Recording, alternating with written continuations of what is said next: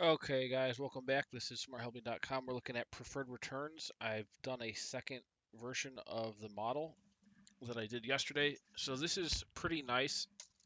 I was researching some different things that can happen and again, these are can vary between deal to deal, but I did some generic um, assumptions of catch-up equity or catch-up return if your um, pref return was it basically in shortfall essentially if if the amount available to distribute um, was less than the preferred return then you know what happens? Well i've added some options here so let's look at number one option. We can decide to start to add the shortfall to the investor equity or not.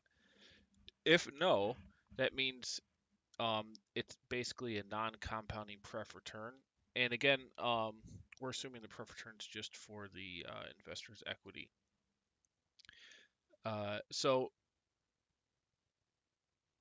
if we do no for add shortfall to investor equity, that means no matter how much unpaid accrued um, returns have happened, we still keep basing the annual interest, the preferred return rate, on the initial whatever the equity amount is.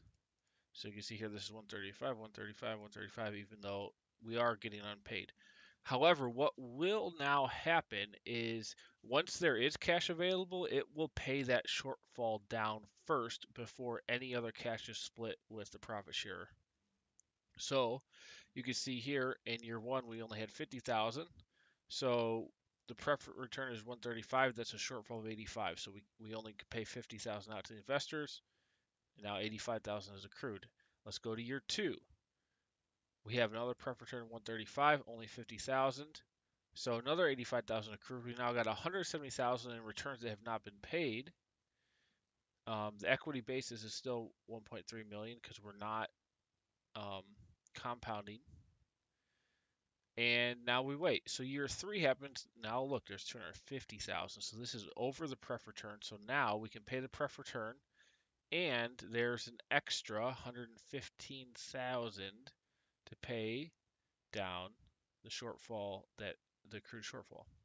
So now the accrued shortfall is 170. We're paying 115. So now the basis for next year four, when we do another set of calculations, let's say we made another 250 um, of distri distributions, we pay off the rest of the accrued balance of the shortfall. So 55,000.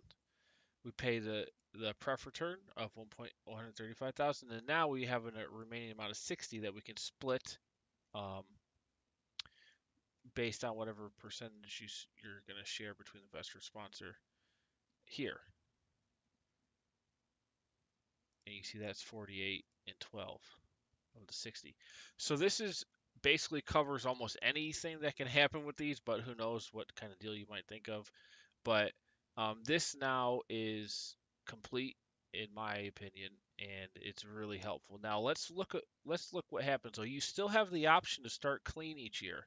See how this is no? This means that we have the accrual. If you put yes here, look at no accrual. It basically reset every year. You have 135,000 pref return. If you don't make it, it's okay. Nothing accrues. You just pay out what you can, and nobody else, you know, sponsor's not going to get anything. Same with year two, and then year three, when you finally get some cash, you pay off the pref return, and then nothing is split of the, you know, loss or the uh, the shortfalls. That doesn't matter. We'll just do what's at left after the 135, which there's 115,000 left, so you split it 92,000 investors, 23 to sponsor. Um, so you can start clean each year just by toggling that. Um, most of the times that's going to be a no though, and you're going to accrue. Now here, watch what happens if we want to compound. You'll see this 1.35 is going to compound based on the accrued unpaid equity, and now their pref return is going to go up.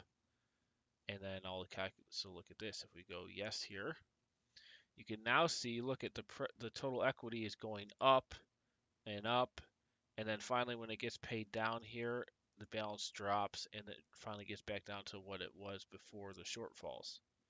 But while it was higher, you can see the pref return was higher, and that all counts towards the total shortfall that gets added to the next year and added to interest. So those are pretty much, you know, if I looked on a bunch of um, sites that talked about this. I couldn't find any scenarios um, that were the this covers the most common set of scenarios that were um, displayed. Now there's other things like preferred equity. Now preferred equity is completely different than preferred return. Preferred equity means you have a right to get that equity back.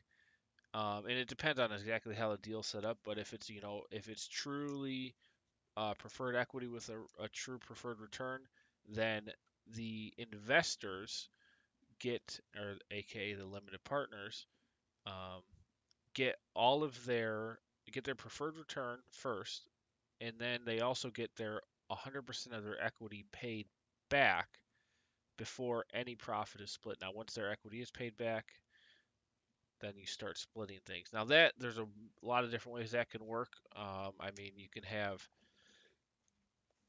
you can have pari passu where you've got some splits happening where it's not all the investor's equity and paid back first. It's you know you're splitting the the preferred return between the investor and sponsor equity, and then you're also returning um, the sponsor and investor's equity based on um, the amount, uh, amount they put in.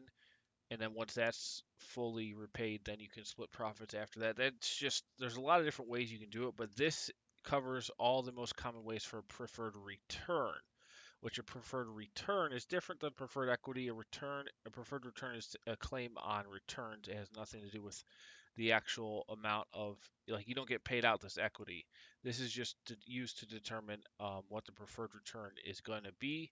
And then, like I said, I did all this stuff so you can do compounding, not compounding, start clean, not start clean every um, year. And then there's some share of profits after um, the pref return is taken care of uh, for the sponsor.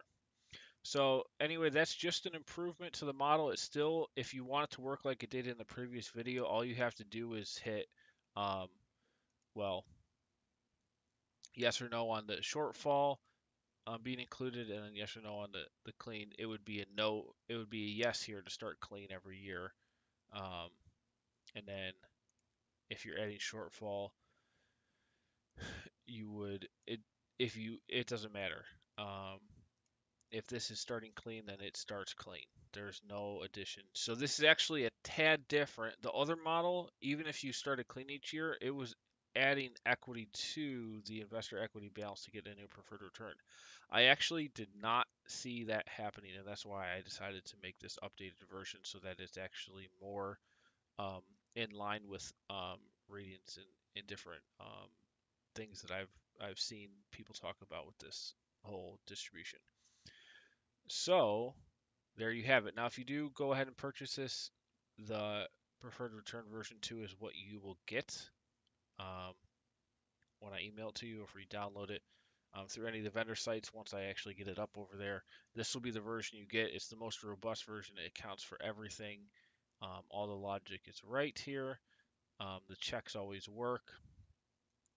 If we start playing with this, um, you can see at the bottom here, always there's always you know the total sponsor return and in inflows and outflows plus the investors inflows and outflows always equal the actual only amount that's available. And in this version I we just went through it. I just made the investors part very uh, uh, more flexible and more uh, have better ability to compound not compound um, and add the shortfall like add catch up so that you actually pay unpaid accruals um, of preferred returns that were not met in previous years. So I think this is a pretty pretty solid starting point for um, a lot of people just to get their hand on it, get to get a feel for how this how this works and what kind of um, splits look like. All right, this is smarthelping.com. Update of preferred return next up, and I don't know if I'm going to do this anytime soon, but the next thing I want to do is going to be a preferred equity version, which is completely different logic than this. So we'll see what happens. See you on the next one.